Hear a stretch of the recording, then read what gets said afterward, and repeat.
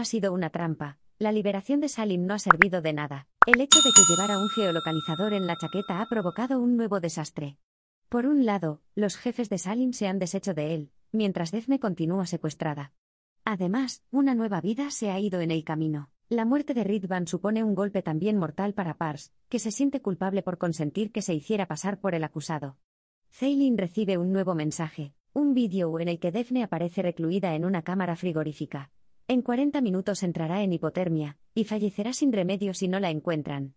Ilgaz pierde los nervios una vez más, en una situación que lo ha llevado al límite de sus fuerzas. Ceylin y Eren logran recomponerlo cuando la policía les da una buena noticia. El segundo localizado que habían instalado en la chaqueta de Salin comienza a moverse. Es probable que la prenda continúe en el coche al que el chico se subió tras ser liberado. Comienza la cuenta atrás cuando Eren, Ilgaz y Ceylin buscan encontrarse con el vehículo, esperando encontrar en él a Defne, o, al menos, respuestas rápidas sobre su paradero. Mientras, en el hospital, Metin parece mejorar pero la noticia del secuestro de la pequeña Defne lo deja de nuevo al borde de la muerte. Pars reconstruye lo ocurrido desde que el camión en el que viajaba Ridvan salió del juzgado hasta que dos vehículos lo interceptaron. Los conductores relatan las palabras que intercambió el chico con sus asesinos. Ilgaz y Eren interceptan a varios integrantes de la mafia. A pocos minutos del final de Defne, Ilgaz está dispuesto a quitarle la vida a cualquiera que tenga que ver con sus secuestradores a cambio de información. Ceylin sabe que su todavía marido está dispuesto a cruzar todas las líneas por su familia.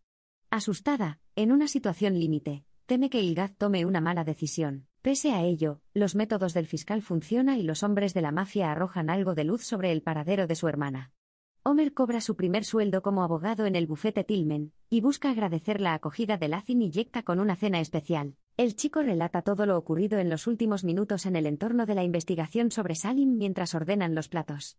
La frialdad con que lo hace sorprende a Lacin y asombra a Yekta, que comienza a desconfiar. Los Kaya y Erguban respiran aliviados ante el rescate de Defne y la mejoría de Metin, pero llegan malas noticias. Ritvan ha sido asesinado.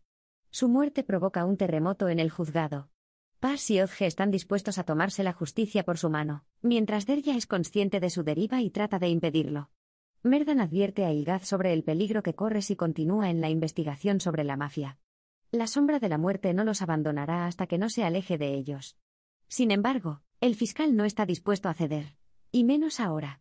Debe encerrar a todos los que le han ocasionado tal sufrimiento a su familia, y hacer justicia por la muerte de Ridvan. Tras descubrir que Aiten está infiltrada en el bufete, Homer inicia un acercamiento a los supuestos enemigos de su padre, empezando por Ceylin. El joven abogado queda prendado desde el momento en que intercambia un amable saludo con ella.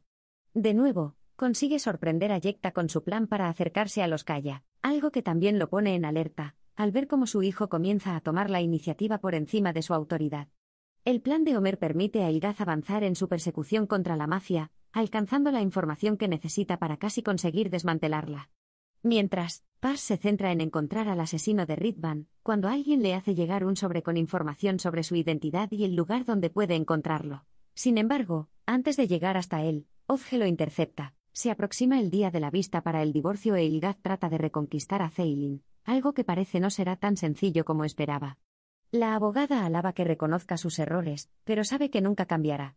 Sus diferencias acabarán dinamitando su relación una y otra vez, y no está dispuesta a permitirlo.